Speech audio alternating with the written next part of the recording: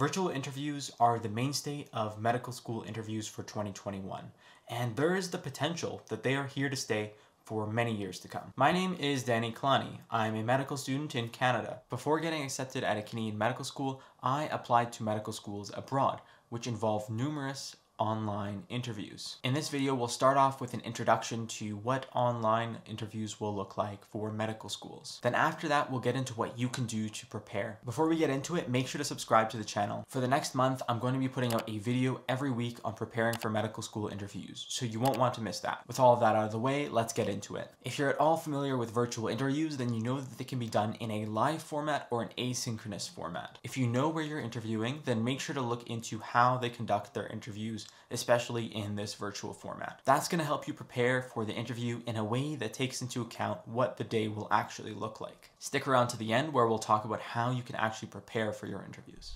So what are live interviews going to actually look like? If you have a live interview, you're going to get to directly interact with your interviewer through some sort of video conferencing software like Zoom or Skype. With live interviews, one thing you'll definitely get is the opportunity to answer follow-up questions you might not have that with asynchronous interviews. And there's also a good number of formats that you could actually be working with depending on the medical school for these live interviews. And we'll talk a little bit about each of them. One example is the University of Toronto, which is sticking by its modified personal interview. Now they're calling it the Virtual Modified Personal Interview, or VMPI. The format is essentially four 12 minute long interviews with four different interviewers. When you first meet your interviewer, they're going to be the one asking you the questions rather than you watching a video or reading a prompt before going into the room. And this format gives you four opportunities to make a good impression about yourself as a candidate for medical school. Compared to multiple mini interviews, you get more time in each station, which should hopefully give you some opportunities to build some greater rapport with your interviewer. And there was actually a paper published by Hanson et al on the Toronto MPI format. On the year that the study was done, they categorized the stations into four different types. The first station is about self-reflection, the second, ethical decision-making, the third, collaboration, and the fourth is about values. Each station has particular aspects of your character that are being evaluated along the way. These are things like maturity, communication skills, interpersonal skills, as well as caring and conscientiousness. With other formats, we have other schools such as UBC, which have opted to do the MMI, but in a virtual format.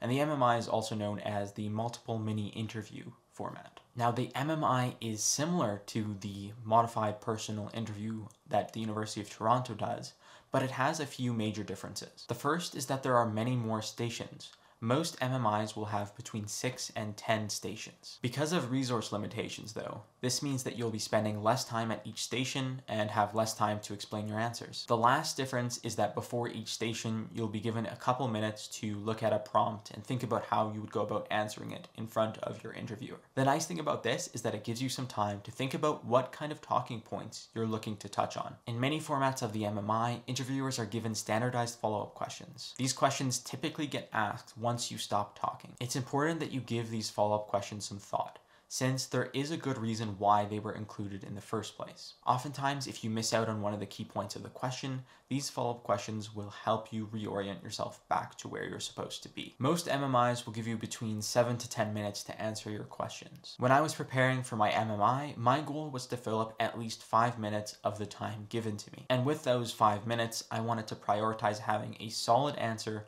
over having a long answer. By doing this, you can cut out any ranting and you'll have a chance to answer the follow-up questions. During my interview, I actually ended up finishing some of the stations early, which is a good thing because it meant that I avoided ranting and I stuck to the points that I wanted to address. You should also know that there's a lot of creativity that goes into creating MMI questions, so you should aim to be ready for whatever comes your way. We'll touch on a few types of stations just to give you an idea of what you might see on interview day. One type of station is what I call the personal interview station. These tend to ask you questions about situations that you faced in the past, and maybe do some reflection on them. Then you have situational stations where you're given a scenario and asked about how you would approach it. These could be related to ethics, conflict resolution, or a number of other things that they'd like to assess. There are also acting stations These are essentially applied situational questions. You're thrown into a scenario and you need to show what you would actually do rather than talk about what you would have done. There are also puzzle type stations where you're given some sort of puzzle to solve in front of the interviewer. If this type of station were to be done in a virtual format, I imagine that it would involve you giving instructions to the interviewer who would have to complete some sort of task. The last type of station that I want to talk about is called a teamwork station. These usually involve working with other interviewees. The teamwork stations exist to assess how you would work with others in reality rather than just on paper. And this is super understandable because medicine is a team game.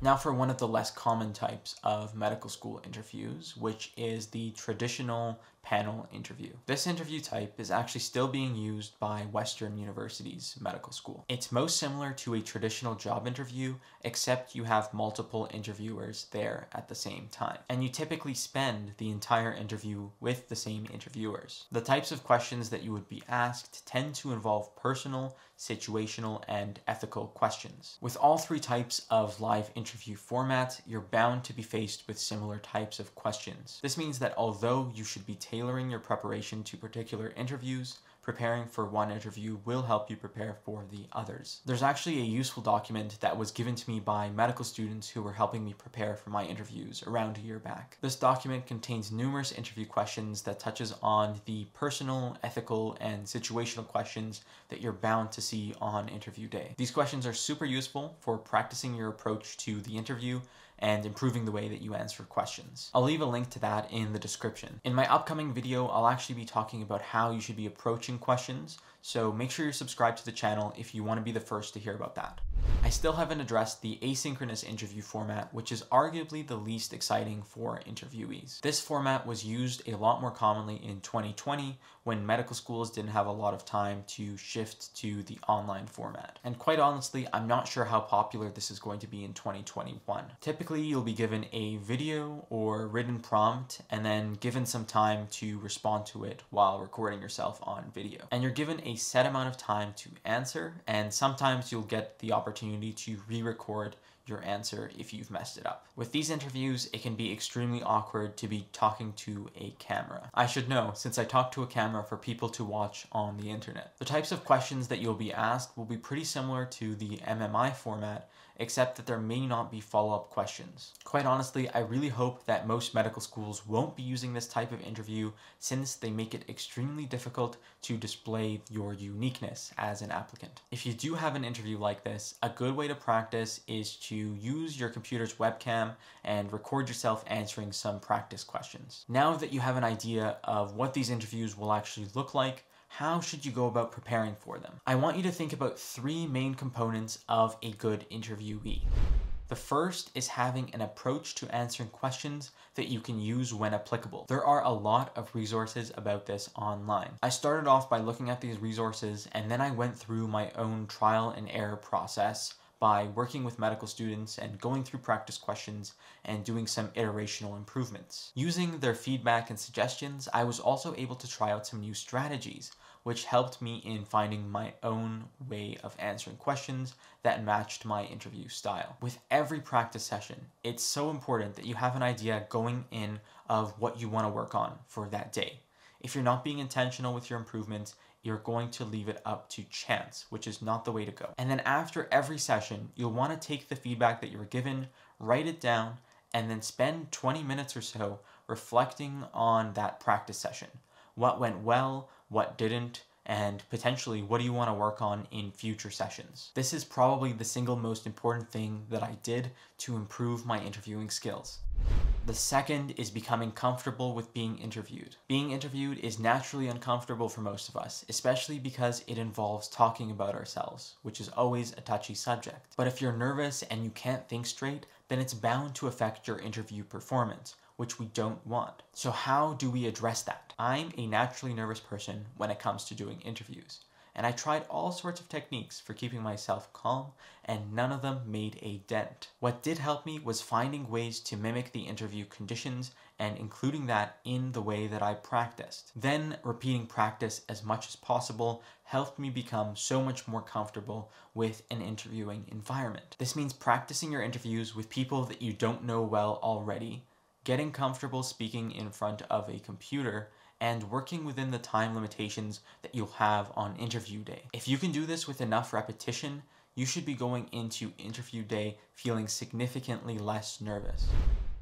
The third component of being a good interviewee is being prepared to talk about yourself when it's appropriate. What I recommend doing before your interviews to accomplish this is first looking through the CanMEDS rules. The CanMEDS roles are essentially a list of expectations for how a physician conducts themselves. While you aren't expected to have these traits already going into medical school, it is helpful to look at them and see how you've applied them in your own life especially outside of a healthcare setting. The examples that you're coming up with could be as simple as something that happens at home, or they could be as formal as something that you did in an internship. After you've had a look at them and started to think about where they've been relevant in your own life, start to write down the examples and really flesh them out. Come up with some key talking points that you could use if you wanted to bring this up in an interview. One thing to note is that you can ignore the medical expert role for the purpose of your interviews. But the important thing is that you're building a collection of examples that you can use and talk about when you're practicing and then eventually doing your interviews. One question, as an example of where this would be applicable, would be if I asked you to tell me about a time where you've had to deal with interpersonal conflict in your life. Now, if you have a list of your personal experiences and you familiarized yourself with them and you've gotten used to talking about them, then this would be an easy place to slot one in in your interview. Before the interview comes, you'll want to find some time to practice talking about these experiences and improving the way that you tell it as a story. But there is a caveat that you need to know about this. Don't go memorizing your story word for word and then rehearsing it in front of your interviewer. That's not going to work well. To keep it from coming out as unnatural, you'll want to tailor your story to a particular question and focus on aspects of stories that are the most relevant to the particular questions. So, to put it all together, in preparing for your interviews, you'll want to develop an approach to answering questions, and you should be improving that approach through practice, iterational improvements, and feedback. Then you'll want to get comfortable with being interviewed, and you'll do that by mimicking the interview conditions and repeating practice interviews with those conditions with a high frequency. And lastly, you'll want to prepare some talking points about your life experiences and then get better at telling it as a story and tailoring that story to particular interview questions. That way you'll be ready to put these life experiences into action whenever the right question comes your way. That's all for now. If you have any questions for me, leave them in the comments and thank you for watching.